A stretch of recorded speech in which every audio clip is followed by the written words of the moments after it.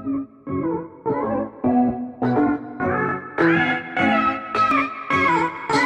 guys, welcome back to my channel, Madam Joy Gadia. In this video guys, ang i-share ko sa inyo ay kung paano ba maglagay ng end screen o e-card sa ating YouTube channel. So, ang gagawin po natin guys ay itong aking Premiere na naka-upload na ay lalagyan natin siya ng end screen. So, kung paano ko po gagawin ito. So, keep on watching. So, first, pupunta po tayo sa ating Google Chrome. Okay? So, ngayon, kapag nasa Google Chrome na po tayo, ayan, punta po kayo sa YouTube Studio or studio.youtube.com.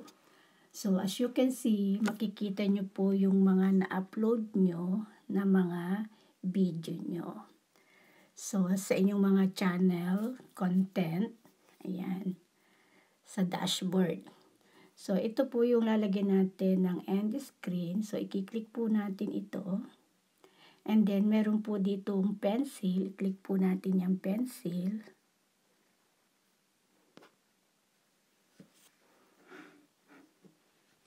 Ayan.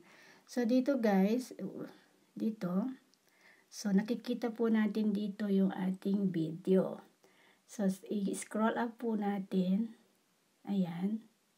So, makikita nyo po sa right side na mayroon po dito itong end screen and card. So, ayan.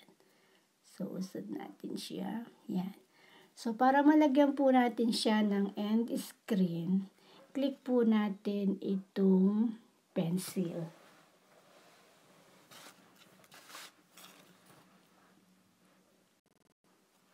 Ayan. So, dito po makikita po natin sa ating wall ng ating YouTube studio na may mga element. So, sa element po, pamili po kayo kung ano po ang gusto nyong gamitin na pang end screen nyo. So, mamili po kayo dyan kung ano ang gusto nyo. Okay? So, ako po minsan ang ginagamit ko is yung tatlo siya. For example, itong one video, one playlist, and one subscribe. So, kung gusto nyo po yan, i-click nyo po yan. So, kung gusto nyo naman po yung dalawang video lang, isang one video and one playlist. So, kayo na po yung bahala na mamili ng inyong element. Okay? So, ako po, ang pipiliin ko po ay itong one video, one playlist, and subscribe. So, ayan guys. So ngayon, nakikita nyo po sa aking uh, end screen card or elements na napili na nandyan na po yung aking profile sa YouTube channel. So, ang gagawin po natin guys, so, ito po na may red na ito. So, ayan, i-click nyo po yan. And then, punta po kayo dito sa may pencil. I-click nyo po yung pencil. Ayan. And mamili po kayo ng inyong mga playlist na inyong na-upload na sa inyong YouTube channel para po iyon po ang mailagay po doon sa inyong end screen na mapapanood ng mga viewers kapag iyon po ay nakita po nila sa inyong videos. Kapag for example na napanood na po nila yung na-upload yung videos and then gusto nyo po na makita nila yung inyong mga another videos na na-upload. So pag kinlik po nila yon so mapapanood po agad nila yon At may posibilidad na maaring nandoon po yung content na gusto nilang mapanood sa inyong end screen. At hindi na sila mag-search pa sa ibang channel. So, okay guys. So, for example, ang ilalagay ko po na gusto kong mapanood nila is itong aking, let's say, unboxing. Okay? So, ayan. So, and then, ito naman po sa, uh, yung time niya, kailangan guys, ay 20 minutes before, before po na matapos ang inyong video, ay maiset nyo po siya sa 20 minutes before na matapos ang inyong uh, video. So, dito naman guys, makikita nyo dito sa taas, dito, di ba? Mayroon na ito yung time. So, meron na siyang time na nakalagay doon sa aking uh, elements, doon sa video ko na aking ini uh, upload. So, hindi ko na siya uh, iibahin kasi okay naman na siya. Okay? So, kung gusto nyo naman na baguhin yung time, is pwede nyo rin naman po siyang baguhin. Okay? So, and then, ito naman pong isang ating end screen. I-click po natin iyan. Ayan. So, ang nakalagay po dyan is video best for viewers. So, ayan. So ngayon, dito guys, mamili kayo kung ano ang gusto nyo. Kung yung video best for viewer, yan. O kung gusto nyo allow YouTube to select a video from your channel to best suit the viewer. So ako po lagi po iyan na lang yung aking gustong ilagay para bahala na po si Lolo YT na mag magbigay uh, or mag-suggest uh, sa aking viewer kung ano yung video na kanyang gustong ipanood. So, pero kung gusto niyo naman po ng inyong most recent upload, ilagay, i-click niyo po iyan. Ayan. And then, pag na-click niyo po yan, kailangan mag-i-click niyo po ito at kayo po ang maglalagay or yung pong inyong most recent upload na video, iyan na po yung makikita ng inyong mga viewers. Okay?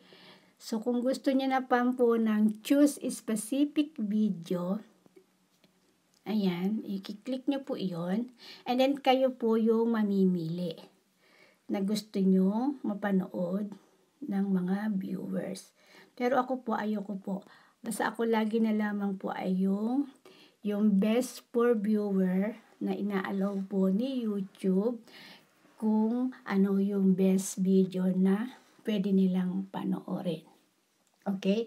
So, gaya guys, hindi na natin papalitan ng, ng time ng pag-edit nung kanyang end screen. So, kasi naka-automatic na po na ang aking end screen is 20 minutes before matapos ang aking video, mapap, mai, pa, makikita na po yan ng viewer sa aking uh, video.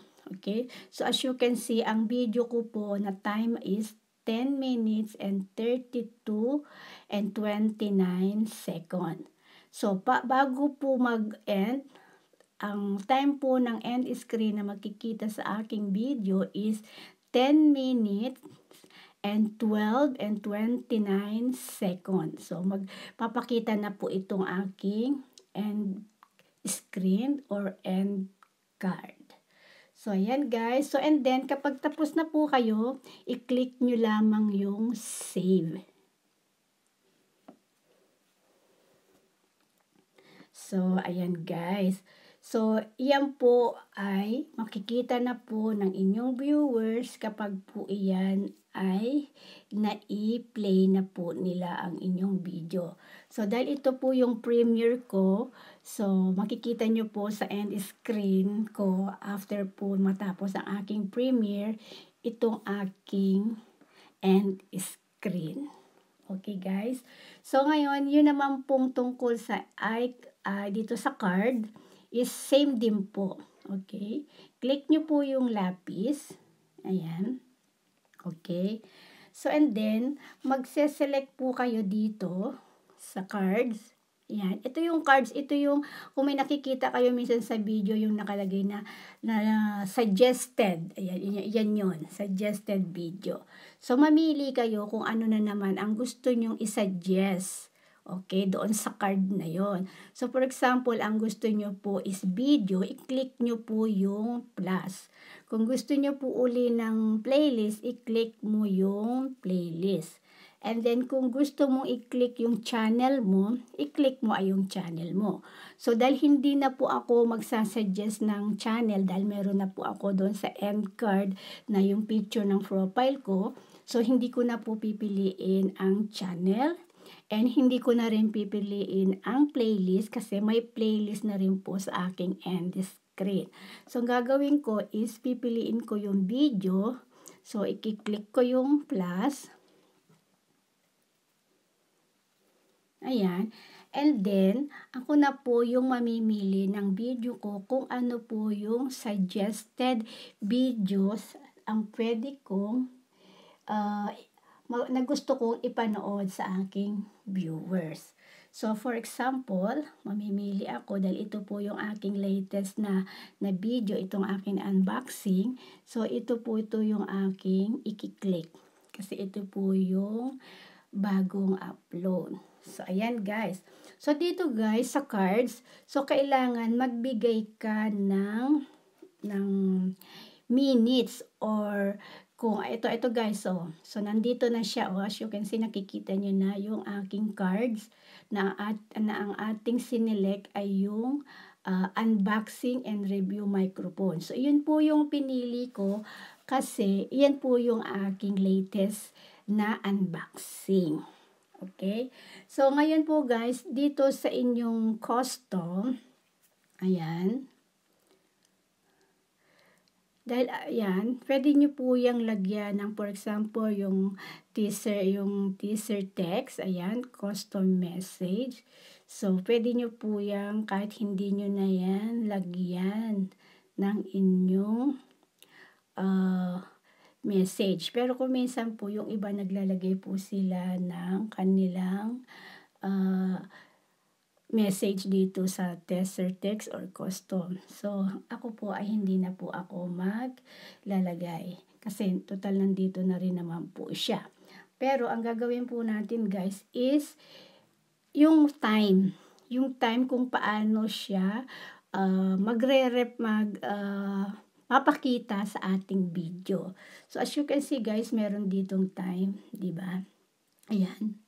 So, ang ating video ay is 10 minutes and 32 and 29 second. So ngayon, saan nyo gusto siyang ipwesto o yung limit na time para agad magpakita ang inyong suggested video. So yung iba guys, ang uh, ginagawa nila is i-click nyo lamang po ito. Yan. So and then, kayo na po ang bahala kung anong time, kung saan siya ang banda ng inyong video magpapakita ang inyong end screen. So, siguro ilagay nyo na lang sa, for example, ko yung end screen is 20 minutes bago matapos ang inyong, ang inyong video. So, ang gawin nyo siguro is mga, let's say, 25, 25 minutes. O, ayun. Bahala na kayo kung anong diskarte ang gusto nyo. Okay? So, basta, uh, wag lang doon sa malapit ng matapos kasi baka hindi na siya mapansin sa inyong video itong suggested video. So, okay.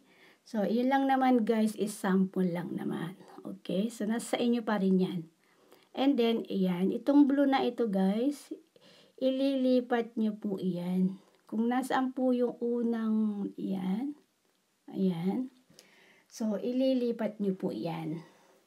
So, i-press nyo lang po siya and then, ilipat nyo. Okay, guys? So, ayun. So, ang nakakalagay dito is nasa 5 minutes. Okay? Sa 5 minutes ng aking video is magpapakita na po yung aking suggested na video. So, pag nag-umpisa na po yung video ko, di ba? Siguro mga 1 minutes, 2 minutes, 3 minutes, yan. So, bago siya mag 6 minutes, magpapakita na po itong aking cards. Okay, guys? So, hope may naintindihan po kayo sa aking explanation. And of course, guys, kung tapos na po kayo sa inyong pag-set up, don't forget na i-click nyo po yung save. Ayan. So, ayan guys, ganun lamang po kasimple ang ating tutorial for today. So, okay guys, and then balik po tayo sa ating YouTube channel at para po makita po natin ang ating na-set na premiere. Okay. Wall.